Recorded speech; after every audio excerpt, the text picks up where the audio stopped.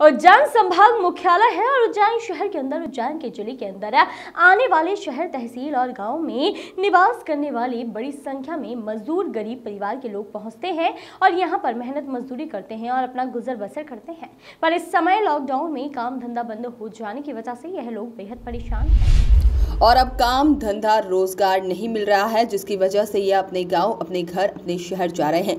बसें चल नहीं रही हैं तो पैदल जा रहे हैं। साथ ही कई महिलाएँ बच्चे परिवार के सदस्य मुख्य रोड पर बैठे हुए हैं। धूप के अंदर और बसों का इंतज़ार कर रहे हैं और बसें आए और अपने घरों को पहुँच जाएँ, जहाँ पर इस समय स्थिति बेहद खराब है। आवागमन के वाहन साधन बंद है, मुख्य रोड सुनसान है और गरीब मजदूर परिवार परेशान हैं। एंड शहर और तहसील के अंदर लॉकडाउन लगाया जा रहा है। व्यापार, व्यवसाय को बंद किया जा रहा है। क्या अड़चनें होंगी? क्या समस्याएँ होंगी? और किस प्रकार से लोग परेशान होंगे? और क्या इसके परिणाम रहेंगे?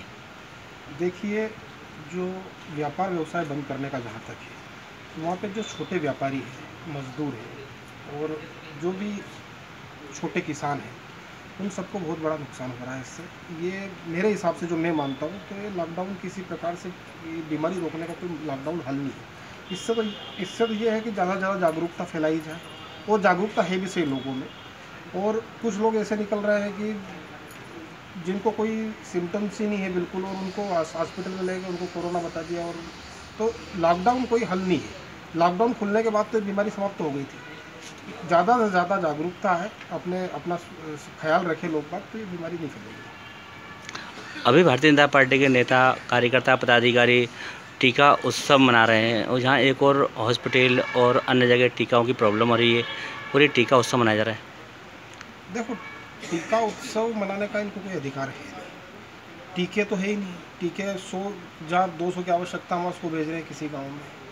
और कहीं कहीं तो टीके, किसी गाँव में तो अभी तक टीके पहुँचे भी नहीं, और अगर टीका अगर लग भी रहा है तो फिर लॉकडाउन की क्या ज़रूरत है?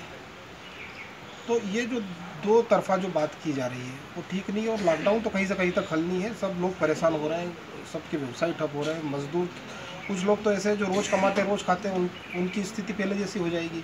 पिछले साल लोग हज़ारों किलोमीटर आए चल के। तो ये केवल नाकामी छुपाने का एक सरकार की नाकामी छुपाने के लिए लॉकडाउन का प्रयोग किया जा रहा है।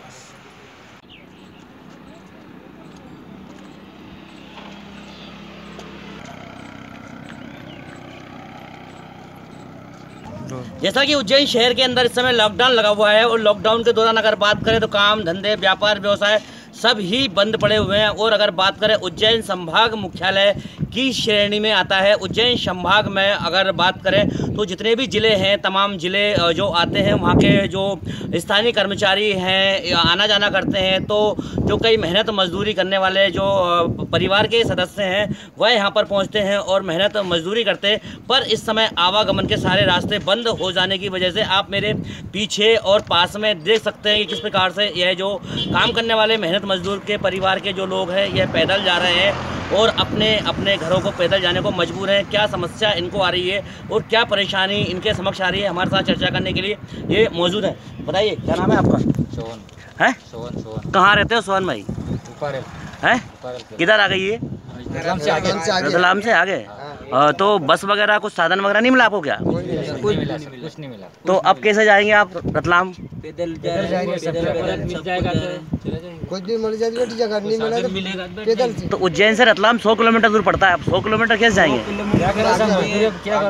आज आपने कहीं पूछा नहीं बस ट्रेन क्या कुछ भी साधन वगैरह कुछ? कुछ भी नहीं मिल जाओ कुछ भी नहीं मिला तो पैदल जाओगे?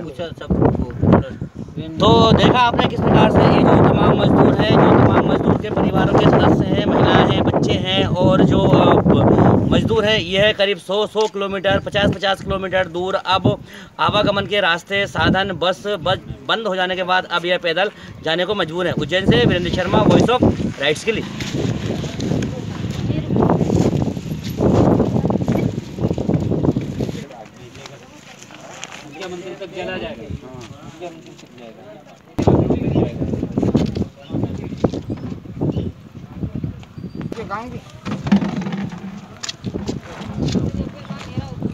वॉइस ऑफ़ राइट्स के लिए उज्जैन से वीरेंद्र शर्मा की रिपोर्ट।